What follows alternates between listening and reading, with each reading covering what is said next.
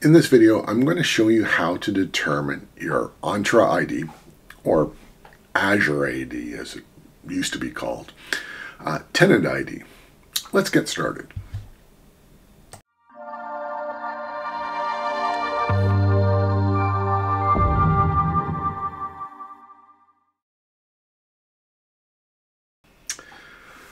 So the Azure AD, tenant ID, that's a mouthful.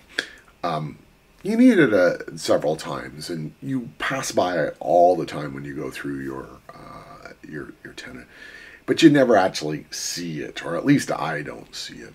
Um, so part of the reason I'm doing up this blog and video set is, is the next time I go searching for how to find it, I'll run across my own blog, which uh, happens a lot, and it will remind me how to get this thing. It's actually not that hard.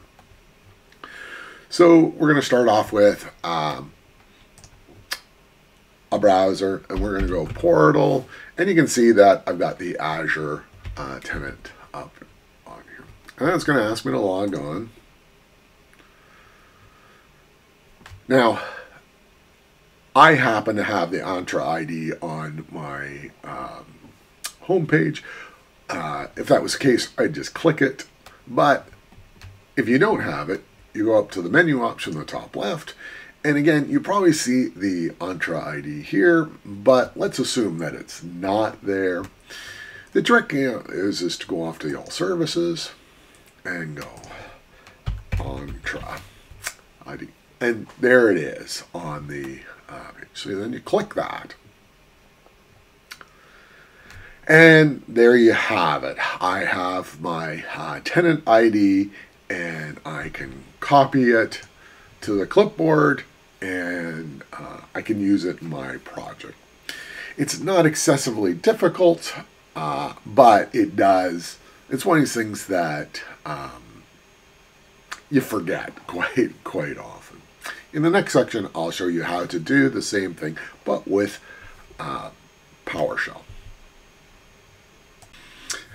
So we're back. We're in Visual Studios. This is how I'm going to access uh, Power. I'm sorry, how I'm going to access PowerShell.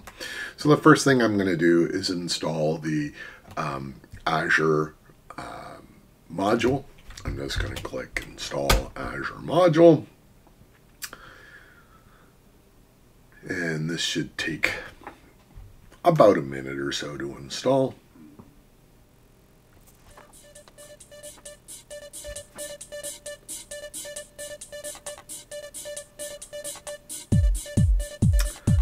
A while to get going, doesn't it?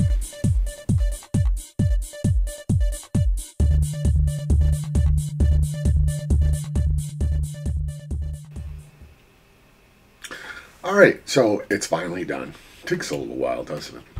So then the next thing we're going to do is we're going to connect to uh, Azure or Entra ID. And I'm going to log in with my account. Okay. And then the last thing that I'm going to do is I'm going to get the uh, tenant details, which actually you can see it's listed there on the screen. Of course, I blurred it out, but you can get the uh, tenant details and it's the exact same uh, details on that. So all that's to say is um, you can log on to uh, the portal and get the tenant ID, or you can use um, PowerShell to get the uh, tenant ID, and you can use this information for things like the uh, Power BI um, and Graph.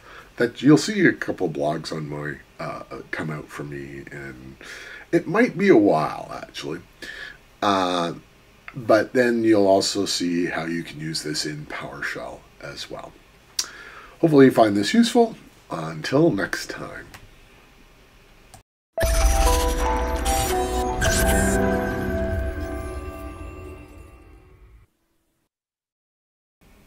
I want to thank you for watching and to remind you to subscribe to this YouTube channel Um, and not only that, go off to the Ask Garth site and subscribe off to the new uh, the newsletter. This way, you'll be informed of all the latest content.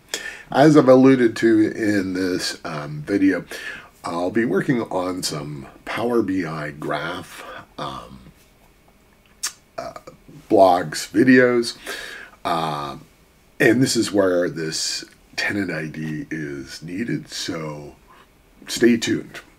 Until next time.